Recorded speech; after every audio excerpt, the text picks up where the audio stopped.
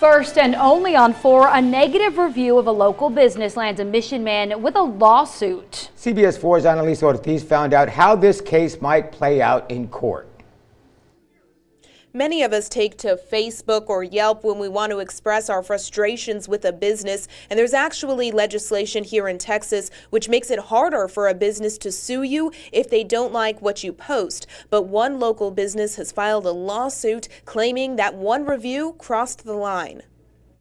It was written under my name, so, it, you know, immediately like I was shocked. Mission resident Vince Fernandez says he doesn't know how a negative review was posted to a local bowling alley's Facebook page, even though it was posted from his profile. Maybe I left, you know, my Facebook on somewhere, you know, at a on someone's computer. The post caused the business owner of Incredible to sue Fernandez. The owner and the attorney representing Incredible declined to speak to CBS 4 News at this time.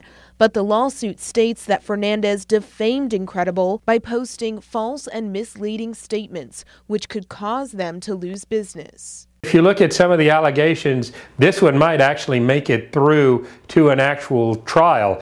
U.S. Congressman Blake Farenthold authored an anti SLAPP or strategic lawsuit against public participation bill. Anti SLAPP legislation protects your rights, your First Amendment rights, to post an honest, truthful review. He says an anti SLAPP statute is already in place in Texas. Farenthold says in these kinds of cases, a judge must determine whether the allegations are opinions, which are protected, or false statements of fact.